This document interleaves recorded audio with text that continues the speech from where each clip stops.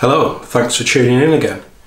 In this video I'd like to explain my process of capturing images whilst on a, a photographic shoot in the Lake District around Buttermere, which is my favourite place in the Lake District. I've been visiting Buttermere now for probably 15 years or more, um, photographically capturing images from all around the lake and the village there. So on this particular day, the purpose of my trip, twofold really. One was to have a nice walk out with the kids. And the second was to test out this camera, the Hasselblad X1D. Um, it's a camera I'm very interested in uh, as an addition to my photographic equipment, which hopefully will enable me to capture detailed landscape photographs, which I sell as prints on my photographic website, jamesbellphotography.co.uk. So Buttermere, like I say, it's in the northeast corner of the Lake District. It's um, sorry, the northwest corner of the Lake District. It's an absolutely beautiful location. It's so photogenic in in any kind of weather. It's very difficult to uh, to take a bad shot there. I think it's uh, it's just one of those locations that's stunning in every direction. So we set off in the late afternoon to be able to uh, do a bit of a walk, see how energy panned out and see how far I could get on this little walk. It's a very low level walk, there's no inclines, there's no hills involved, it's just a decent path all the way around the lake shore there. Now, one of um, the things I, I'm trying to do with my landscape photography going forward is to concentrate more on having days out or trips out instead of just going to one location, taking a shot, and then going home. I want it more to be more of an experience. And the type of photography I enjoy taking is what I would probably call more documentary style. It's um, you know I don't go to a location and just take two or three shots like some might choose to do.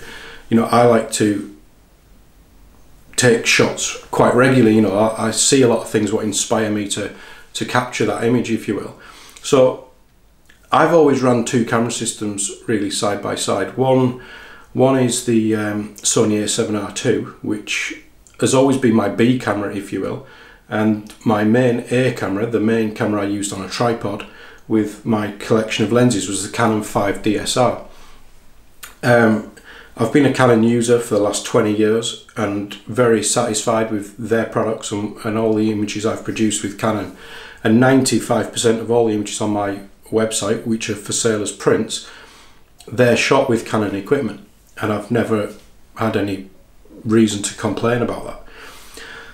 I, in the, you know, Sony have been developing some great cameras for um, pro consumer level things in the last few years, and I purchased the Sony A7R II, excuse me, when that was launched a couple of years ago, I think it was now, or getting on for two years and I think since then, it's really changed my approach to photography, if you will. It's such a capable, technically advanced camera that you can handhold a lot of shots where otherwise you would need a, tripod because of the inbuilt stabilization into the camera there. The sensor is such um, a, it's such a dynamic sensor in the sense that you can capture images and recover shadow or recover highlights what I wasn't able to do on the Canon system. And I find it a very versatile and almost forgiving camera. It can, it, you know, you can almost do away with filters to, to some degree because of the flexibility within the sensor.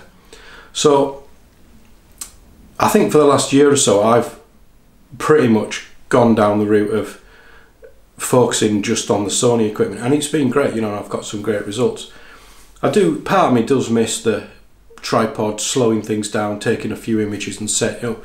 But in the search for clarity for what I do for, for my photography, it's um, it's two types of photography when I do landscapes.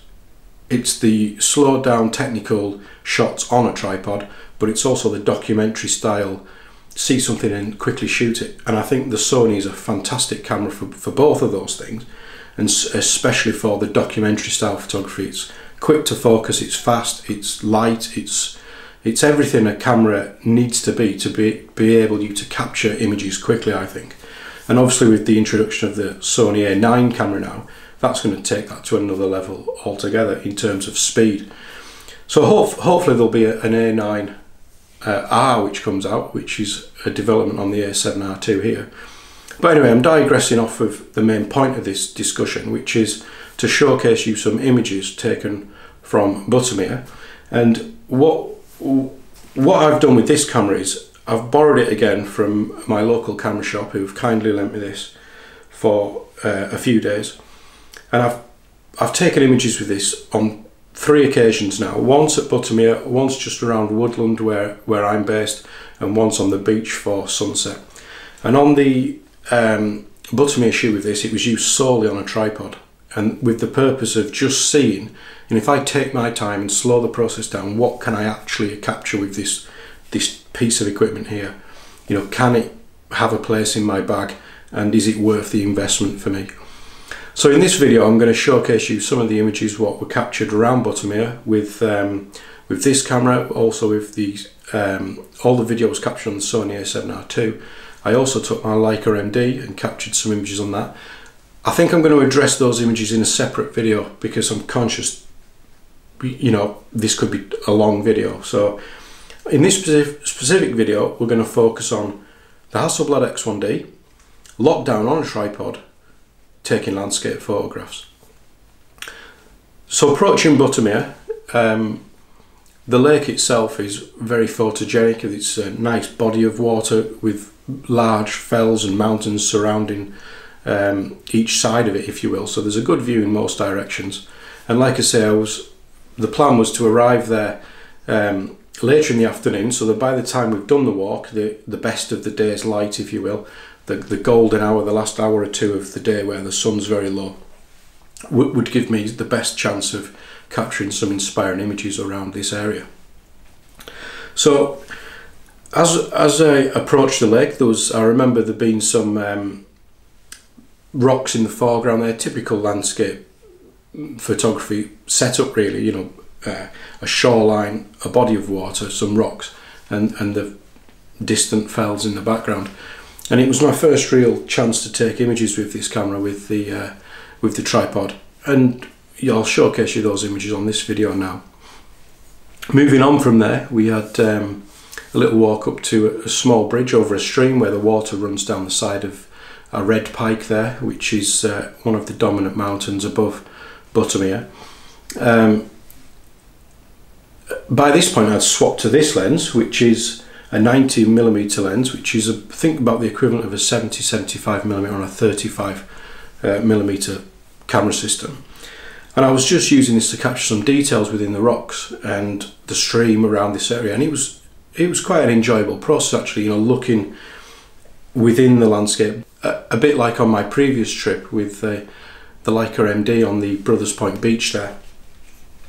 So I was using this to capture some details. Uh, it, uh, by this point in the day, it was the light was pretty harsh. It was the sun was high, so I was focusing more on details in the shadows as opposed to the wider vista at this point. Uh, continue along the shore um, path.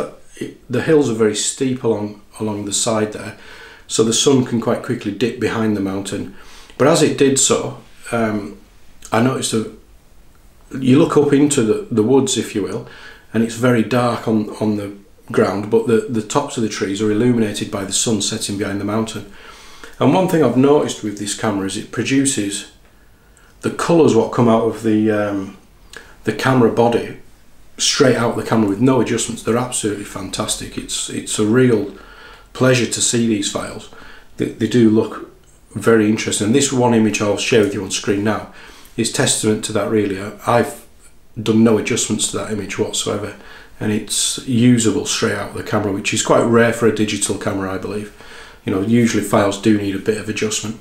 So moving on from there around um, around Buttermere there the exciting part of this walk for me is, is at the southern end where um, you get towards Haystacks and Fleetwith Pike and Warnscale and that's uh, a place I've had a lot of success with in the past especially up on the mountains with my retreat image which I'll share with you on screen now.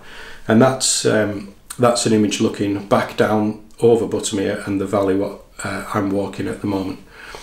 So this stretch it's always a very pleasant scenic route if you will and there's some good paths everywhere so it's nice and easy and very accessible. Um, and some nice images to be had this by this time of day because the, as, as I say the lights dipping down a bit and adding a bit more interest into the into the scene there.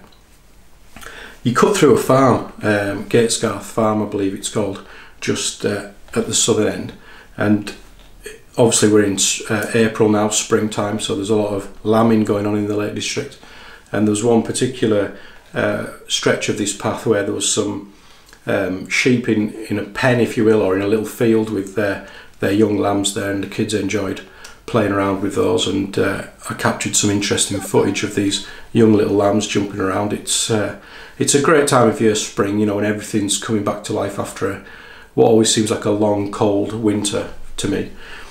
Uh, so continuing back, it's a simple walk along the road from here, and um, what's uh, quite interesting about this this particular stretch of the walk was obviously the farmer who who farms this part of of the uh, Lake District.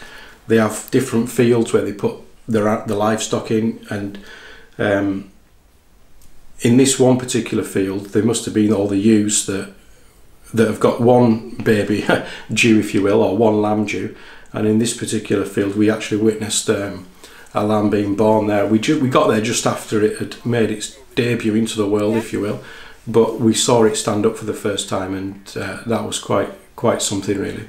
Um, Thomas did a bit of videoing with the um, A7R2 while I took some shots with the Hasselblad here.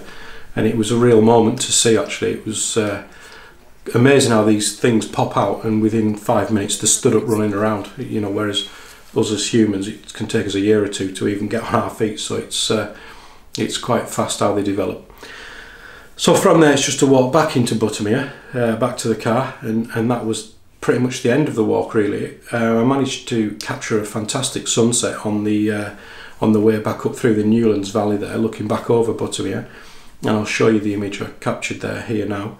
Um, so my first shoot with the the Hasselblad X1D, um, every shot was taken. Well, pretty much every shot was taken apart from the last few shots, which um, they were all taken on a tripod. The last few shots walking along the road were handheld and there's one image I want to show you actually um, which I'm, i might showcase more in more detail in a further video where I go into details of the files what come out of this camera.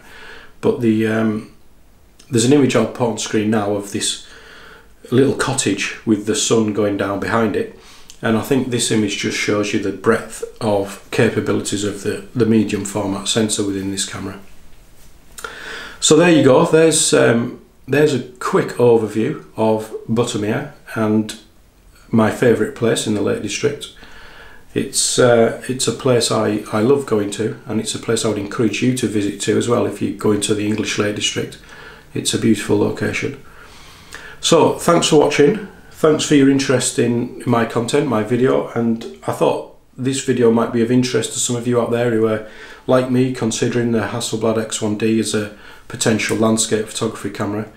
Um, I'm, I'm going to run through a, another video shortly on the usability, the operations, the ergonomics and all those things but for now this is just a showcase of my first landscape photography shoot and uh, thanks for investing time in my content again. If you think I'm doing a good job please feel free to give us a thumbs up and if you're not subscribing already please consider subscribing there's lots more content coming soon. Okay, thanks for watching, take care, all the best.